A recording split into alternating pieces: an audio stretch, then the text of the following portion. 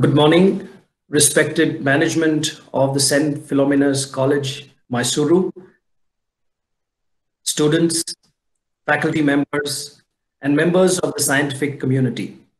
Today, I'm going to unravel the mysteries of the mind and talk about the implications of biological rhythms on the neuroscience of learning and health. Why is it so important? What are biological rhythms? What is this new science called chronobiology?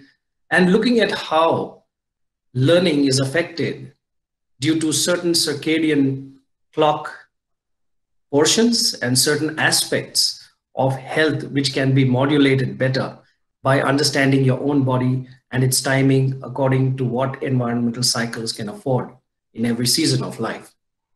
Thank you for having me today, and I hope you have an enjoyable learning experience for the next hour or so. So what is chronobiology? Chronos is time, and biology is the science or study of life forms. So definition of chronobiology in its simplistic forms is the science of the study of the effects of time on living organisms. So you see it's a cyclic phenomena, a cyclic phase. And there's a rotation of the earth around the axis and around the sun. And due to that, you have um, seasons and you have all kinds of cycles. So, you know, chronobiology is effect of the timing mechanism that is relating to your daily life cycles. Now, it is over a period of 24 hours, and there are a lot of terms in chronobiology like entrainment and Zeitgebers and environmental cues, but you need to understand that the clock is located in the brain, and that's what we need to see. Human chronobiology studies show that the human body has a clock in the brain, which is known as the biological clock or the body clock. And this clock keeps time for you, timing in order for you to function optimally and effectively, carrying out different functions at different timings of the day. So you can see you have best coordination at 2.30 p.m., high alertness at 10 a.m., of course, melatonin, which is the sleep hormone or darkness hormone, is secreted at 9 p.m. Then you have deepest sleep at 2 a.m. And then you have melatonin secretion stopping in the morning at 7.30 a.m. So you have testosterone secretion, high alertness, and you know greater cardiovascular efficiency and muscle strength in the evening time. So you can see different time of the day, you have different activities which are optimally conducted and carried out. This is because the clock is keeping time for you. And excellent studies by Franz Halberg, Jürgen Aschoff, Colin Pittendrigh, Sergey Daan, and Erving Bünning, some of these great um, chronobiologists who laid the foundations for studies in the cycle of how the biological clock controls the human body. It's a very innovative science. And um, the Nobel Prize in Chronobiology was won in uh, medicine by the Americans in 2017. And I was in the USA at that point in time at Oklahoma at Oral Roberts University. And we were actually conducting some simple studies on uh, chronobiology as well. And we had Jeffrey Hall and Michael Rosbash and Michael Young um, who conducted these research studies on molecular mechanisms controlling circadian rhythms. Prior to that, in 2014, we had the Nobel Prize in Chronobiology won by neuroscientists, and uh, this was in physiology and medicine uh, by John O'Keefe and May-Britt Moser and Edward I. Moser from the Norwegian University of Science and Technology in Trondheim, and you should study what they had looked for, and it was excellent how the GPS system and the coupling mechanisms of circadian cycles can actually help you to navigate through certain um, you know areas and how to identify different places on the map. So now coming to the technical definition of circadian rhythms. Circadian rhythms basically are self-sustaining biological rhythms characterized by a free running period of about 24 hours, circa diem, about 24 hours. So what happens is these rhythms are ubiquitous. They are controlled by an endogenous intrinsic clock and they are entrained by extrinsic mechanisms like light, temperature, photoperiod, relative humidity, and so many other extrinsic social cues, variables, uh, other variables. So there are characteristics of circadian rhythms which are exhibited even in bacteria, certain aspects, of fungi and plants, flies, fish, mice, humans, you know, and these can be phase shifted, they're adaptive, and they occur at molecular levels. So you have period and timeless and cryptochrome, some of these genes um, which are there. And you can see that chronobiology and neurobiology almost integrated sciences because the body clock is located in the in the forebrain and uh, the SCN or suprachiasmatic nucleus, and that is controlling as uh, the brain is the master, you know, um, organ, the entire rhythmic function of all organs of the body. So you see the rhythm is a sequence of events repeating again and again. So it's basically a sequence of events that is repetitive on a daily basis. Every day we have 24 hours. So you have certain rhythms which are expressed repetitively over every single hour of the day. And you have the highs and the lows, and you have the amplitude, you have the crests and the troughs, and you have the heart rhythm. You can take a look at the blip and you can see how the heart rhythm functions. And almost all organs of the body, uh, you know, hormonal secretions, they are undulating and they have wavelengths. So basically a biological rhythm is also a circadian rhythm. I mean, it is a term that is used interchangeably. So it is repetitive.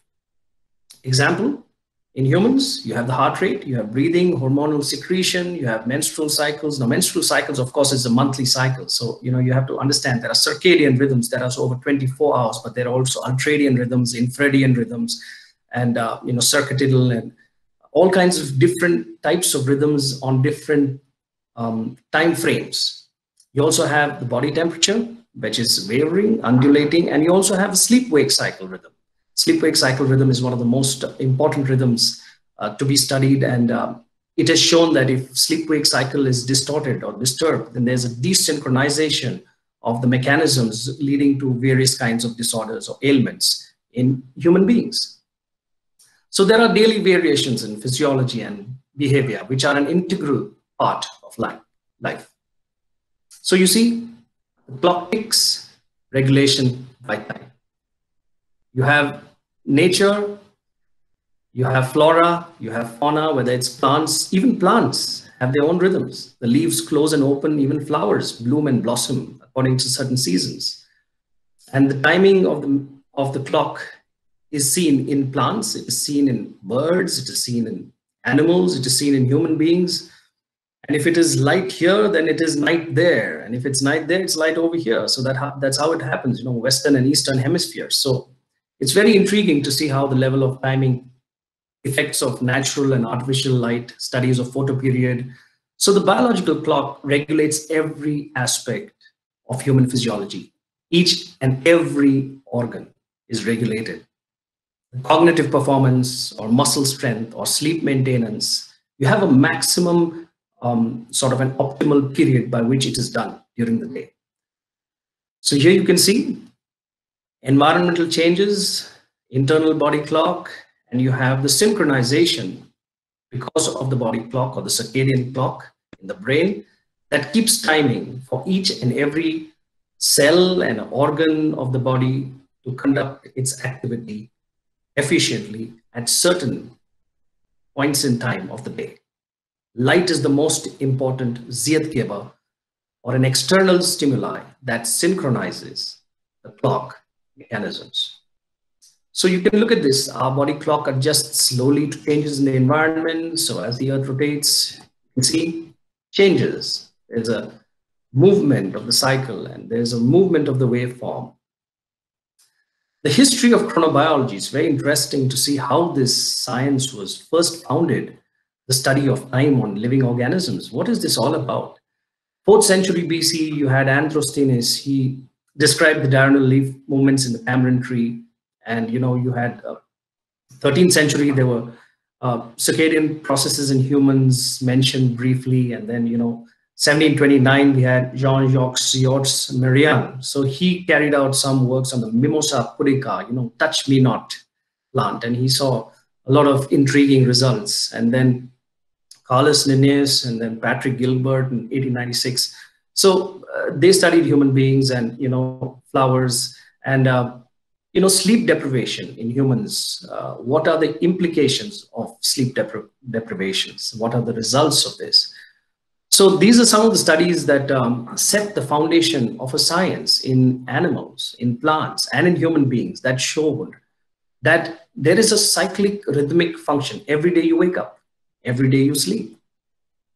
And then every day you have to eat, then you have to have, secrete uh, endorphins, you have to secrete, uh, you know, all kinds of hormones, for example, digestive hormones to digest your food. Then you need, um, you know, hormones to study. You know, you have hormones in the brain known as neurotransmitters. They help you with cognition and memory and learning. So we needed to see as to when they are optimally secreted and how we can improve our understanding of human circadian rhythms. The earlier studies in human, specifically human circadian rhythms were carried out by Michael Siffre. Now, Michael Siffre was a French cave explorer. And uh, he did a very interesting study. He used himself as an experimental model he went into a cave. Oh, yes, actual cave. And he stayed there in isolation, almost like a human bunker, if you ask me. And those days, caves were very dark and dingy. And so in Texas, he went in there and two types of studies were carried on, I think 1962, 1972. Um, you know, he was a speleologist and a cave explorer, and he went in there and he lived in a subterranean cave. And in this cave, he had no access to sunlight no access to external clock, calendar, or sunlight to maintain or monitor his biological clock. And then uh, he emerged after almost 100 and, um, you know, 79 days. And he kept timing for himself his locomotor activity and he wanted to see how his body clock was free running, basically the free running period, how uh, he could calculate that there are terms, you know, free running period and and uh, this is technical jargon. I won't go there. But, uh, you know, he calculated certain uh, attributes of the biological clock of his own body. Then Nathaniel Kleitman in 1938 again conducted experiments on physiology of sleep and circadian rhythms. And now uh, students are looking at uh, studying circadian rhythms of bats in caves and the mutations that occur in the eye pigments of the bats, you know, those in the Lonar crater, those bats are mu almost mutated in those caves. They live there, you know, generations together. And uh, it's intriguing. Some of my colleagues worked on those studies and I worked on the Drosophila and the fruit flies. And we were looking at how uh, the circadian rhythms of, uh, you know, high altitude and low latitude flies are different. We were doing comparative research studies at that point in time. Now, look at the master clock, okay? This is your body clock, the suprachiasmatic nucleus. So if somebody asks you what is chronobiology, chronos, time. Biology, you know, science of living organisms. So the effect of time on, on living organisms. And what is the master clock? It's the pacemaker that keeps time for you. It is your body clock. It is located in the brain. So here you see you have, you know, certain snapshots of the body clock and its critical location in the brain actually integrates circadian rhythms and neurobiology. So if you look at how light enters the eye and then you have, you know, you know, pigments, eye pigments, you have, of course, rhodopsin and conopsin and due to light, there's entrainment or synchronization, almost like a fine tuning of the clock. So the light cycles every day, tune the clock and the master clock then starts functioning and all other clocks in the lungs, heart, muscle, liver, gut, renal, reproductive system start ticking. So the whole concept of even growing old, gerontology, who's keeping time for you? The internal body clock. So time ticks from within, not just from outside. So you have extrinsic cues and you have intrinsic cues, both synchronizing to keep time for you. Now, if you look at brain and physiology, because it is located in the brain, we need to understand the neuroscience of uh, how circadian rhythms affect learning. Brain physiology is very, very, uh, you know, I'd say very clear. You have four lobes, and uh, the frontal lobe is responsible for certain functions. The occipital lobe is responsible for other functions, the parietal again, and the temporal lobe. Um, temporal lobe, particularly for speech, hearing, and memory, and uh, the brainstem, which controls your heart rate, breathing, and blood pressure. The frontal lobe, again, intellectual function, behavior, personality, muscular movement, all this takes place in human beings. And parietal lobe sensation, all kinds of sensory stimuli are registered and decoded there. The occipital vision at the back and the rear end of the brain. So basically, your eyes are like the lens of a video camera. You actually see the image of the camera developing on the magnetic strip embedded at the back of the camera. But the lens capture the light. Similarly, Light rays are captured by the eyes. They are transmitted through the optic chiasma. And there is an image formation right at the back of the brain, the occipital lobe. So that's how it's so complex and it's uh, such a mysterious functioning of neuroscience. When we look at the technical definition of neurons, these are highly specialized cells located only in the brain, which are responsible for learning. So you have a basic neuron design, which shows the cell body, the nucleus, and the filamentaceous extensions known as dendrites. These dendrites communicate closely and by linking together, you have a synaptic connection, a synaptic formation, and then you have enmeshed neurons, so many of them, and you have these electrical stimuli or biomolecules zapping through known as neurotransmitters. So you can see it lighting up or firing when you record the activity in the brain. Glial cells, of course, are supportive cells provide a framework and nourishment for the neurons. So when you look at the scientific basis of learning, brain cells responsible for learning are the neurons. They are located in the brain. You have dendrites, which are filamentaceous extensions, and uh, you have axons and neurons, and you have synapse.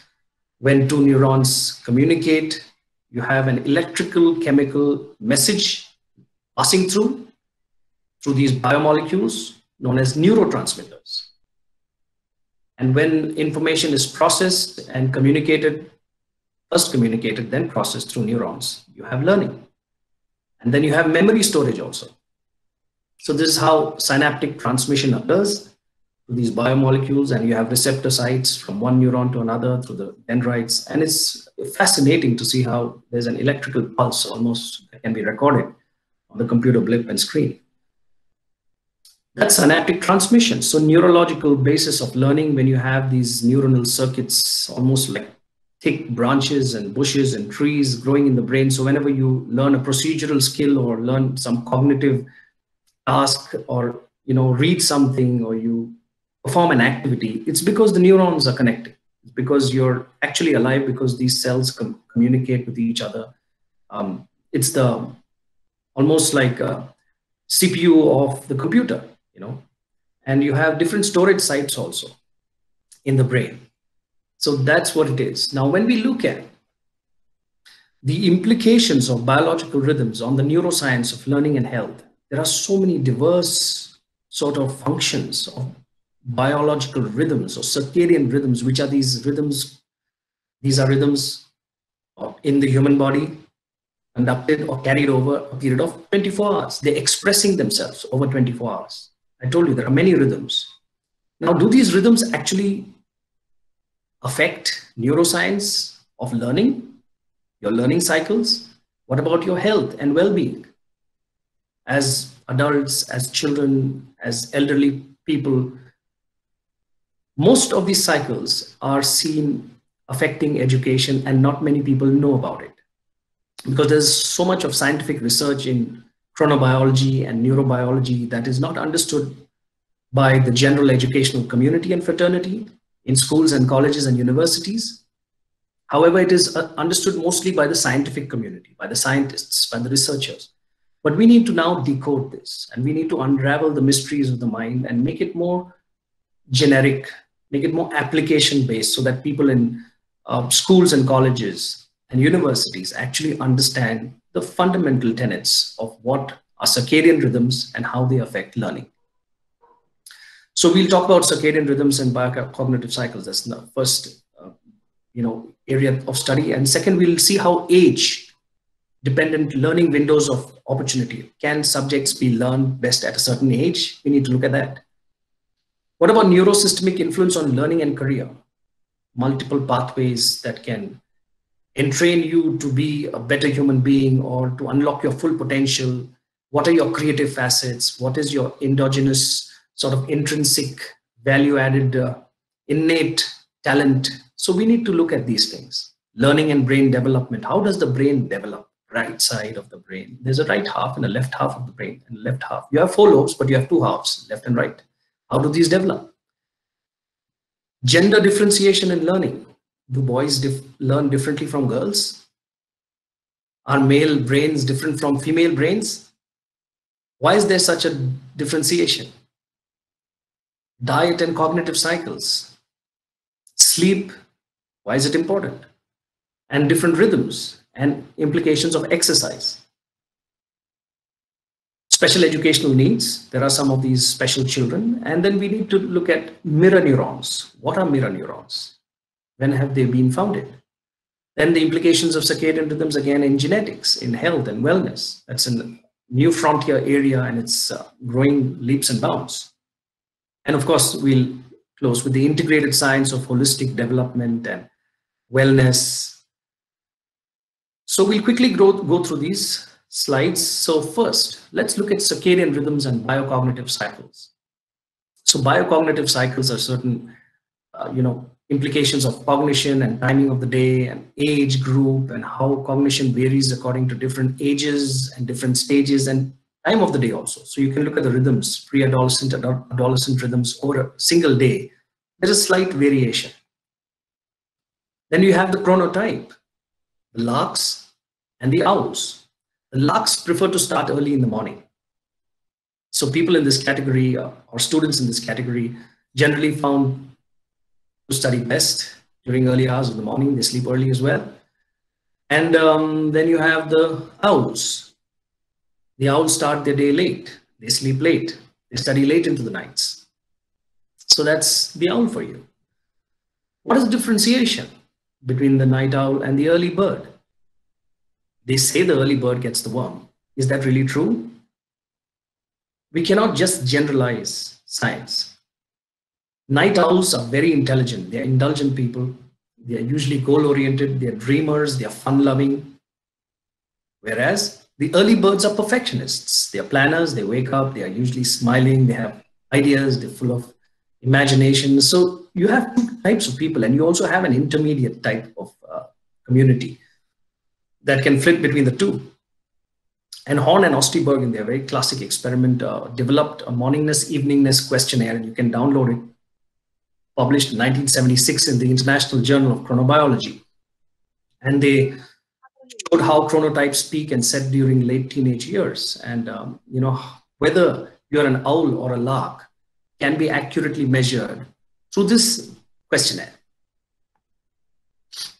We did some studies published in a peer-reviewed journal, and um, the correlation was to assess whether circadian chronotypes actually affect academic achievements. And there are some more details in this study on morningness and eveningness and how clocks are different and the whole genetic mechanism is intriguing to study in the future. This was published in the International Journal of Psychology and Neuroscience. Then if you look at memory now, as a part of the biocognitive cycle, it has been shown that the time of the day actually affects memory storage and memory formation.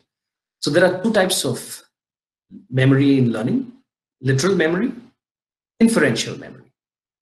Literal is, of course, facts, names, numbers, and formulas. That is why in the timetable you need to have math and English and sciences being studied in the first half of the day. And then inferential memory, which is poetry, fiction, art, music, sport, all that should be done in the latter half of the day. So this is how memory storage information varies by the clock.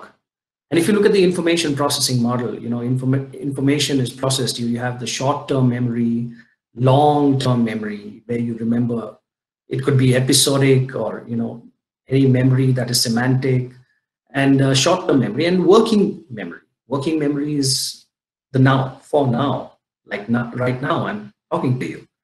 So you're registering information in your brain, at least part of it, because part of it the brain cannot understand, then you forget. And short-term memory is processed into long-term memory, and this usually happens at night when you sleep. An excellent paper, 10 Steps to a Better Brain by Kate Douglas et al., New Scientists, published in 2006, should be studied.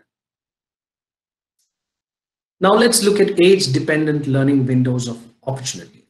Does age actually affect learning? Can subjects qualitatively and quantitatively be, can they be learned at a specific age? So if you look at um, the age-dependent learning windows of opportunity, so this was shown even by a book, Brain-Based Learning by eric Jensen. He showed that actually age does affect learning. And he showed that learning math occurs best when your fundamental basics are taught in childhood. Languages can be learned best in early childhood. So in early childhood, what happens is the rate of learning is quick because the rate of neuronal growth is very fast. It's rapid. So the neurons are proliferating at a very rapid pace in the brain. So you have uh, vocabulary being picked up by children. So if you look at the, you know, phonemes, memes, phonetics, all this is taught to children at a very early age. And by the age of 10, children can pick up two or three languages. And I'll show you a case study on that. Emotional control also. And values, can they be developed in the earlier years of life? Yes. Train a child way he should go and when he's older, he will not depart from it. IQ, and uh, instrumental music. So these are all taught at earlier years of life. For example, language acquisition, because the Broca and Wernicke's areas are the first areas of the you know brain to develop, especially in the temporal lobe, you can see that language learning is very quick. So children pick up two or three languages very quickly in the early childhood. Not a problem at all. They don't have to go to tuitions. And uh, dendrites are growing rapidly during the earlier years of life. Factors affecting dendritic growth, and there are negative factors affecting dendritic growth. So in an enriched environment, learning is very meaningful, it is fun and enjoyable. And even in adults, you have neurogenesis, and I'll talk to you about that a little later. So this is a case study of how age affects learning subjects. And language is the first subject, actually, to be learned by children. That's what neuroscience is showing. Developing a value in children. The marshmallow experiment, a very classic experiment conducted by Walter Mischel and uh, Stanford, you know, they actually worked with children and they showed how children who waited uh, for an extra marshmallow over a period of 10 or 15 minutes actually did better in life when they were tracked for 17 years. They showed that those children who have the ability to wait, they can get, you know, double benefits. And um, they had better SAT scores and they had better educational attainment, uh, body mass index, and um, that is equivalent to resilience. So delayed gratification is good rather than instant gratification where you want everything right now. It's good to wait sometimes and uh, this patience or self-control is a value, it's qualitative. And when developed in children at an earlier age, shows a lot of impetus and value in the latter years of life, in your adult years of life. That is why children need to be educated and taught by parents and by their teachers and by their family members uh, the concept of self-control. Now, the biological time changes with age. You know, as you grow older, there's a phase shift, and you know you have reaction, cognitive time, and sleep maintenance uh, at a different rate. And a lot of studies have been carried out in university students also, and the effects of gadgets on university students, mobile phones, and sleep deprivation. And is there a difference between the owls and the larks in subject preferences, in careers? Can they do better in different careers? What about hormonal cycles when um, you know children reach teenage years and from teenage, the cusp of teenage years to adulthood. So the clock timing changes. And so their reaction time changes and um, the modulation changes a little bit. Um, you need to see that. You need to study that, even the sleep cycle. Now, if you look at the third aspect, you look at the neurosystemic influence on learning and career. So the brain is receiving external stimuli, right? You have five sensory organs, the eyes, the ears, the nose, and the, the tongue, and, you know, touch. So what happens is when it gets this extrinsic stimuli from external sources through your sensory organs, it was seen that learning is best suited for visual learning. That means through the eyes, 46%. A general study was carried out. Auditory learning is only 20%. Kinesthetic or touch and feel, 35%. So you need multimodal approaches of st sensory stimuli to the brain for it to affect conducive learning for the student. So you can see all this. Eyes, ears, taste, smell, touch, and then the crisscross sectioning of the brain, tapping of neurons, and the left half of the brain controlling the right half of the body and the right half of the brain controlling the left half of the body in its functioning. It's intriguing. It's just, it's just beautiful, you know. Then if you look at gadgets, if you look at the neurosystemic influence of gadgets on learning, for example, media, any kind of media, it could be digital media, it could be print media. Now, what happens is when you use a lot of digital media like iPhones or iPads or you have laptops, um, what happens is you're skimming and skipping through information. So what happens is you develop something known as concept thinking. You become conceptually aware because you're surfing through information. You're surfing through the internet quickly, rapidly. It promotes conceptual thinking. But when you read print media, like a book, for example, it facilitates deep reading and it facilitates critical thinking. That is why it's important to have both print media and digital media utilized in schools and colleges.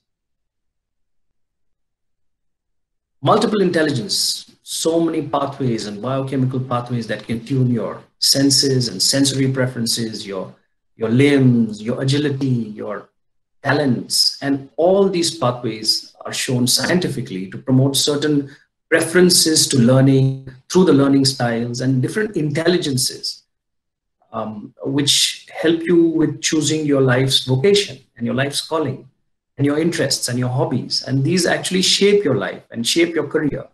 And thereby you can then shape society. It'll transform you, then you transform society. This is multiple intelligence. Now, what about learning and the brain?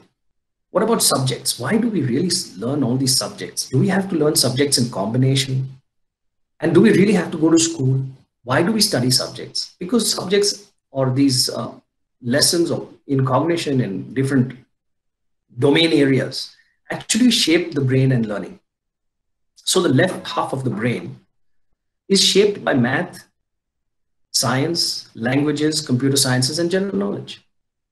That's how it functions. That's how it becomes more optimal. The right half of the brain develops because of artistic fields like art, craft, music, sports, theater, and drama. Kathleen Cercone in 2006 again brought out brain-based learning in a brilliant effort to summarize the neuroscience of learning and its effect in pedagogy and education.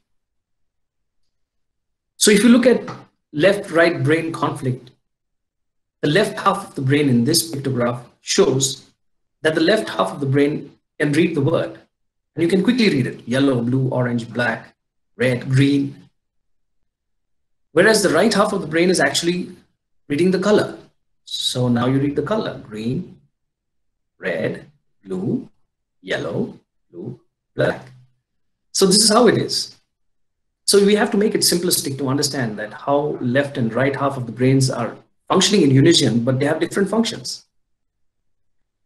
That's why subjects have to be learned in school in the right combinations to develop both left and right half of the brain.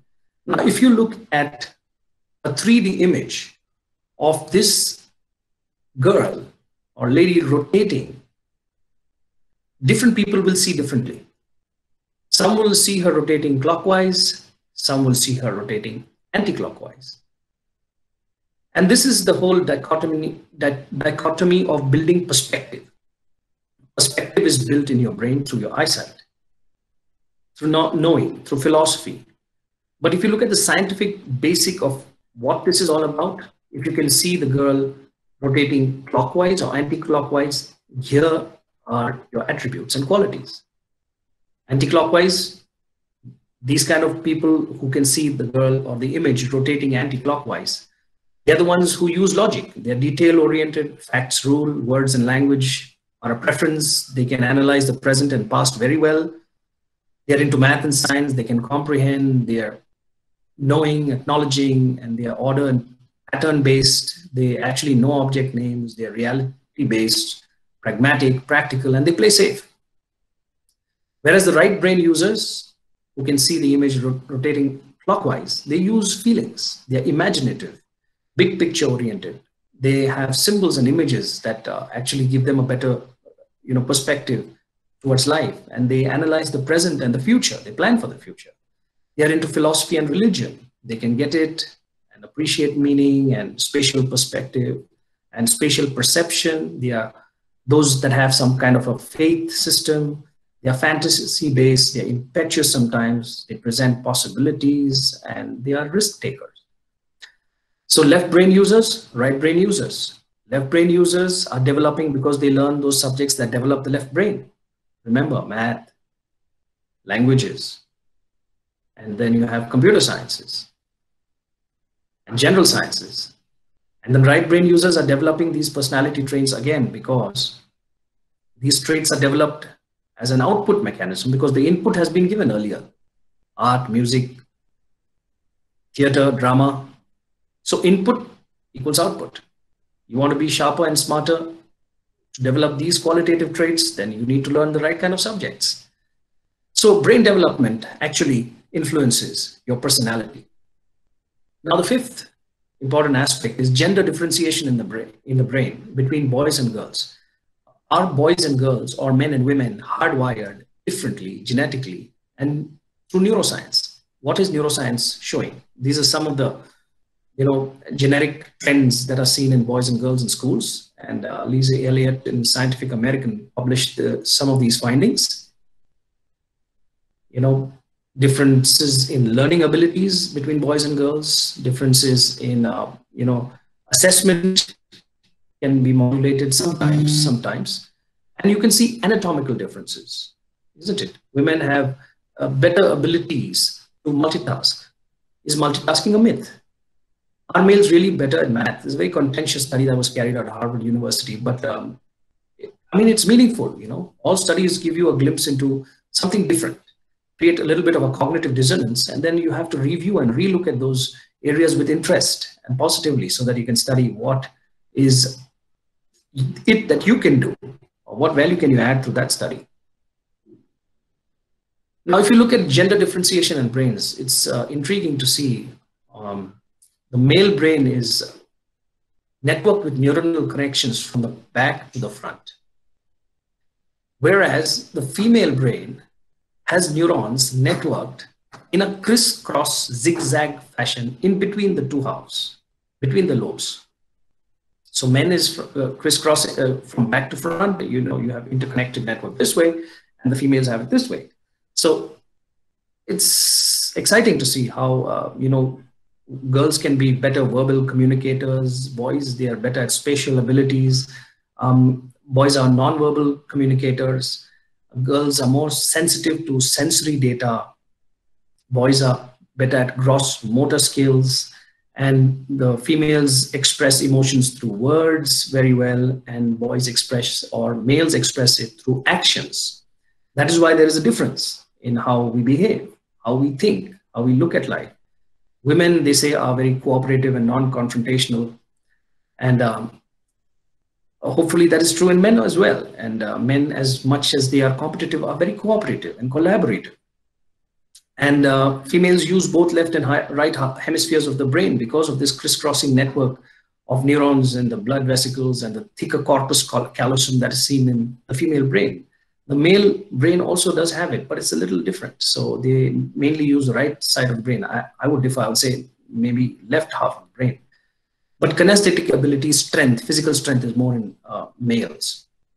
So this is how it works, you know, and you have to be looking at uh, um, significant differences between men and women in learning styles uh, because of the scientific pathways, the genetic pathways, and the neuronal connections, and the structure and functioning of the brains, different brains between men and women. Now look at diet and cognitive cycles. This is even more, uh, I would say, simplistic because you need to see how the brain functions as the master organ of the central nervous system the brain only makes up 2.5% of the body or 5% maximum, but uses 30% of the body's energy. It's like an energy guzzling organ and it utilizes almost 700 calories for normal functioning every day. These neurotransmitters, I talked to you about the neurons and the neurotransmitters. These are the biomolecules or chemicals that are responsible for cognition. And they are usually and often the byproduct of digestion. So you need to eat the right kind of foods in order to give you the right kind of um, levels and optimum levels of, uh, you know, these hormones. And, uh, and especially required in adult, adult years, pre-adolescent years, and few of these neurotransmitters include dopamine, serotonin, acetylcholine, GABA, glutamine, you have histamines, and all, all these kinds of neurotransmitters. These are chemicals, and these are neurotransmitters responsible for learning and cognition in the brain. So look at, uh, you know, the neurotransmitters and uh, what is the best kind of food or diet you can have for optimum secretion of this neurotransmitter. And this neurotransmitter has specific functions. Serotonin is responsible for mood, memory, processing, sleep, cognition. What are the kind of foods you can have for that? Dopamine is responsible for pleasure, reward, motor functions, compulsion, and preservation. Acetylcholine, short-term and long-term memory, formation and storage. Tyrosine, very important for sleep. Of course, melatonin is responsible for sleep, but you have the amino acids, uh, you know, tyrosine and, uh, you know, antioxidants are also important. They combat aging. They mop up the free radicals floating around. Then you have docosahexaenoic acid, omega-3 fatty acids. These are responsible for alertness, focus, and retention of whatever information that you're processing in your brain. These are again due to certain foodstuffs. So you can get all this information on 10 steps to a better brain. Kate Douglas et al. in New Scientist 2006 paper. Uh, article is good. Um, you need to look at uh, diet control and as students and adults, you need to try and uh, modulate your diet in order to remain, uh, keep your brain fit and fine. And it's all about mind body interactions and a sound mind and a sound body. Both are equally important. Then looking at the seventh virtue of sleep, different rhythms in the human being or in humans and exercise. So in sleep, we have, you know, certain wavelengths or certain waves. For example, these are the delta waves. These are generally strongest when a person is in deep dreamless sleep. And this is what a brain wave actually looks like. the bottom over there, you can see the brain pulsating. There's a brain wave out there. So either it pulsates fast, alpha brain wave, and then you have a theta, which is a relaxed meditative state of frame of mind. And delta is a deep dreamless sleep state. So you need to be in a certain state of mind to study. So external variables and stimuli put you into a state of mind. What about music? Does music modulate brain waves in the brain? Of course. And so you need to see which state you are in. And then if you're a state in a state of mind to study, then fine. And sleep is so important in order to rest and relax. And what are the functions of sleep? Melatonin is the darkness hormone or the sleep hormone secreted by the pineal gland. Sleep has certain important functions which are restorative, adaptive in the human body, and they are also cognitive. So um, the role of sleep is profound. And you have slow wave and rapid eye movement sleep. You can study that later and what are the different functions of these uh, sleep forms in human beings. And uh, look at human circadian rhythms, and they are all keeping in time with the body clock. And the body clock is controlling this. And its functions for homeostasis or normal, you know, melatonin secretion, what about growth hormone? All that is being secreted when you sleep. Lymphocyte formation, eosinophil formation, cortisol, testosterone, and you know all these um, aldosterone, blood pressure, heart rate. All this is in the blood. Platelets, viscosity of the blood also. All this is optimally regulated by uh, the human circadian time structure, if you study in detail. And then during the day hours, uh, cholesterol and triglyceride, uh, you know, sort of uh, levels in the blood and the body temperature, respiratory rate, insulin secretion, blood flow, gastric secretion, excellent, you see. And um, this is how it works.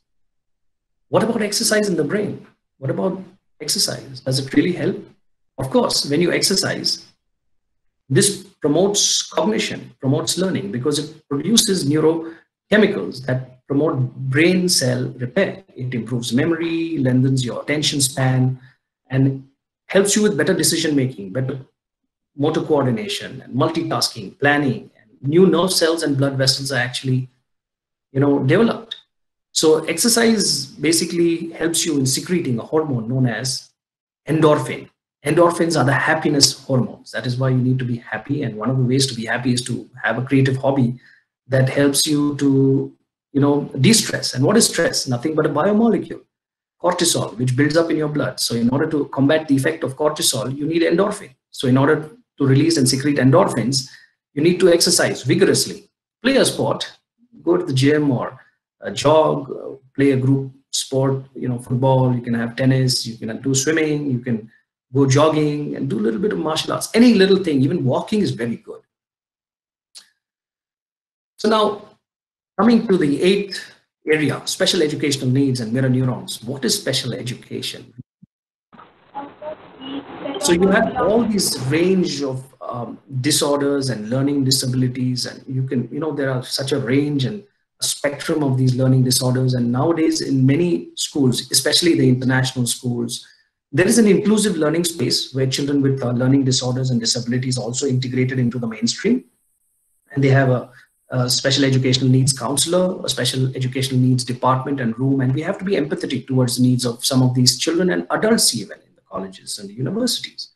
So if you look at diagnosing the brain disorders, first scientific report is required to validate whether he or she has got this learning uh, disorder through brain imaging uh, techniques. You can have uh, you know these techniques to show whether you have a genetic issue or you know is it a mutation um, what is the brain damage and what kinds of an abnormal growth do you see i mean uh, and these can be shown through functional magnetic resonance imaging and positron emission tomography and the cat scan also so um, so we need to find out what exactly is going on in the minds of our children are they normal some of them have issues like ADHD.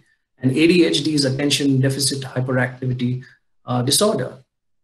This hyperactivity disorder makes the child very restless and he or she is very boisterous, aggressive, uh, and uh, runs all over the place, can't sit still, sometimes can be a bully. So, I mean, you have all this, then you have, you know, slow learners and differentiated abilities of learners and uh, dyscalculia, dysgraphia. So some of these learning, uh, I would say, you know, difficulties can be evaluated at early childhood, and then you have to have intervention strategies implemented in the school. Mirror neurons, and they showed how mirror neurons could be seen in the brain. And uh, monkey was given a banana, and the other monkey also got a banana.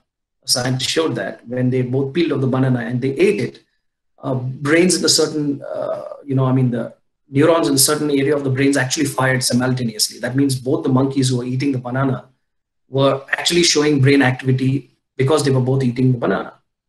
But uh, in the second phase of the experiment, only one monkey got one banana. The other was only observing. He or she didn't have the banana. That monkey didn't. And what happened is once the first monkey started eating the banana, the second one, who didn't get it, who didn't get the banana to eat, actually started behaving, or the brain started uh, firing the neurons in that certain area of the brain, as though he, the monkey was actually eating uh, the banana. So it is showing a mirror neuron connection, almost like we can emulate in our mind, literally, scientifically, through neurons, what the other person is doing. So the response is similar for actually performing the action by just witnessing the action and just hearing about the action. You actually feel that you're actually doing whatever you're seeing or hearing or listening to. And mirror neurons actually enable empathy, skill building, and vicarious experiences. And there's some study to show that if uh, mirror neurons are silent, then you have autism. I mean, it's not clearly defined, but there is some study to show that. Um, and uh, we look at it was uh, the the discovery of mirror neurons was in the University of Parma by Giacomo Rizzolatti, scientist who was studying brain activity in the macaque monkeys, We saw these uh, neurons firing, you know, premotor cortex F5, and individual neurons respond to only very specific action. And it was, you know, published in experimental brain research and in brain journal. A paper was titled Mirror Neurons. Very important uh, to study the implications of mirror neurons, even in education, language, theory of mind, you know, theory of knowledge, socializing, how are social cues developed, how do people imitate each other, and how do people understand each other's actions. Infants, for example, are quick to look at the parents and emulate what the parents are doing. So you have to be good role models as teachers because people are observing you and they want to learn from you, whatever, good or bad, it doesn't matter. As long as you know what you're doing and you know you understand what you're doing has more meaning than what they think, it's okay. Autism, special educational needs again, gender differences, and understanding people's intentions and goals and planning. So empathy neurons, okay, Dalai Lama, they, they actually give the credence and credibility to him, but I think they're more than just that. Uh, I think it's scientifically reasoned to show that mirror neurons actually have a, a very scientific role to play in the minds and hearts of people. And uh, certain music therapy is very useful and therapeutic to calm children down, those who have certain disorders and disabilities, you know, music therapies to play a profound role in uh, calming people down and classical music was shown to improve cognitive development and math learning ability and all kinds of combination of subjects being taught in the classroom. Research by Daniel Levitin can show you this. Neurogenesis and neuroflexibility to show that you know new neurons can be secreted or produced in the human brain at every single age or stage of life. However old you are, it doesn't matter. You can still develop new neurons. So that's neuroflexibility and neuroplasticity of the brain. So uh, it's an important concept in neuroscience to show that you can learn new things and lifelong learning is actually scientific. If you look at the ninth very critical area on circadian rhythms and genetics and its implications on health and wellness in schools and in children, in adults, and in universities. How do we do this research, and how do we apply this through labs and through patents, and you know, make sure it is application based, just for better quality of lifestyle, so we can op optimize our own, you know, body clock and our own DNA. Can we really um, customize learning to our own needs uh, with genetic modulation? I don't know. It is a futuristic paradigm, and uh, it could be very well possible whether it's ethical or not. So what is personalized genomics? You need to look at that. And the Human Genome Project, it was conducted very well. And uh, basically what they found is that, he, and they expatiated that the human genome actually underlies the fundamental unity of all members of the human family as well as recognition of inherent dignity and diversity of human beings. In a symbolic sense, it is the heritage of humanity. We are all formed of DNA, isn't it? Deoxyribonucleic acid. And ATGC, purines and pyrimidines, and the base pairs, and the and the you know the the backbones and all these symbols, and you can actually crack down life's code and you get all the answers. The molecular genetics of circadian rhythms was studied at a molecular level, and the molecular genetics of the body clock was shown by Joseph Takahashi, uh, Department of Neuroscience, and you know he did some uh, research studies over there in the US, and he actually showed how intrinsic 24-hour rhythms arise from molecular interaction of key clock genes within the human body. He carried out studies, and this was even shown uh, to link diseases if there are genetic issues at molecular level then it actually causes some sort of diseases. And uh, genetics of the Drosophila was studied, which is the fruit fly, and mice also. And they studied the genome homology and they studied how these clock genes can actually, uh, you know, affect our lifestyle. Now, circadian rhythm and health, circadian rhythms and health, yes, there are some problems when you have desynchronization of the body clock. You have issues like jet lag, shift work, where people work at night and sleep during the daytime. You know, all kinds of, fields and vocations and professions actually call for shift work. Jet lag when you travel from east to west or west to east, there's a shift in the time zone. Insomnia, sleeplessness, chronomedicine for you know different very chronic disorders, and ailments. So modern lifestyle due to air, light pollution, due to excessive use of gadgets and you know high food availability and low physical exercise, stress, jet lag, shift work, you know, all this um, stress in terms of psychological stress or emotional stress or any unenriched environment, which is distressing you, lack of resources, for example, or a bad diet, uh, stuff like that can actually give you all kinds of problems. And the circadian syndrome has been seen to, the clock keeps time to monitor some of these things, you know. And uh, you can see the excellent studies done by Dr. Sachin Panda, the Salk Institute, the United States, and you know he's a professor there, and uh, he's on the board of the you know you know areas of circadian rhythm studies and uh, in the University of California in San Diego, and he's uh, an authority in uh, circadian medicine, medicine, how the body clock is uh, useful to regulate health and also determine disease formations. I mean, that's how it is. Extrinsic factors and ex intrinsic factors, uh, aging, mutations, and shift work, chronic jet lag. So some of these issues give rise to neurological and psychological diseases like depression, poor sleep quality, Alzheimer's diseases, and the metabolic and cardiovascular diseases could be diabetes, uh, metabolic uh, syndrome, hypertension, cardiovascular diseases. And so the body clock is actually uh, responsible for causing this as an output mechanism in case the input or there's a desynchronization of your lifestyle because of whatever external stimuli, because of stress, because of you know homeostasis being inhibited, or if there's a desynchrony of the body clock, if the timing of your body is not adequate, if your discipline is not adequate, if blood is not uh, healthy. So it is important to understand that circadian medicine uh, is here to stay, and uh, we need to understand the effect of chronobiology in regulating these diseases, in chronotherapy, chronomedicine. All this is coming through now and you can study this in detail uh, how you know even lack of sleep and causes different kinds of issues and lack of you know whatever in the extrinsic uh, synchronization variable of society of, of Zeitgebers and social cues and what what happens what really happens sleep deprivation what happens. And um, can we actually control cancer? Yes probably by you know modulating the treatment of it uh, through optimizing drug dosages at uh, optimal levels at certain points of time in the day.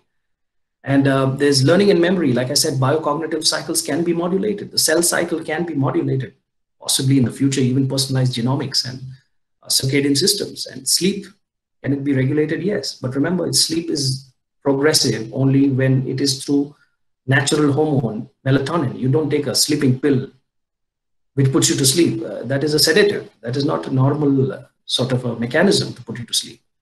What about, what about sex life? It's very important. Sex life is also important. And this determines, gives you that uh, normalcy and keeps you in a state of happiness and satisfaction. You need to see some of these things. And the cell cycle in your body and uh, metabolism is very essential.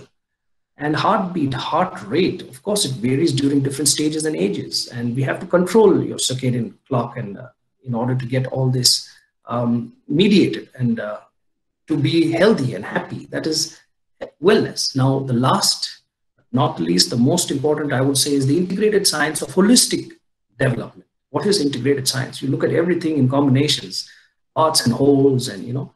So we look at um, holistic development, overall well-being, which is cognitive well-being, aesthetic well-being, physical well-being, social emotional well-being, and spiritual well-being through the learning cycles and the theories psychologists have postulated over the years so many of these excellent, uh, you know, Alfred Binet, Jean Piaget, Lev Vygotsky, Benjamin Bloom, Howard Gardner, Kurt Hahn, Daniel Goleman, John Dewey, Abraham Maslow.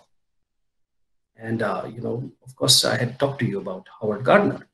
So all these theories are very useful for you to develop yourself holistically as a person, as a lifelong learner, and so that you can unlock your dimensions, all facets of your personality as a student, as an adult, as a lifelong learner. And if you look at the hierarchy of human intelligences, you have physical intelligence or physical quotient, body awareness and skillful use. And then uh, next on the pyramid is your IQ. your intelligence quotient with math and verbal reasoning skills through languages and uh, mathematical symbolic sort of uh, combinations. Then the emotional intelligence, the emotional quotient, which is to manage yourself and relationships around you. And right on top of the pyramid is your spiritual intelligence, acting with inner wisdom guided by compassion, self actualization, your ability to transform others, your ability to interact with the spirit realm, spirituality. So, consciousness, very, very interesting.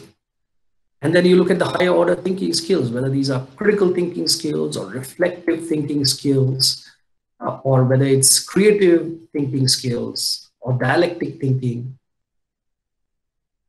course, you have to study cognitions, different domain areas, subject areas, and yourself. Study yourself. So this is how we develop high order thinking skills. Some acknowledgements.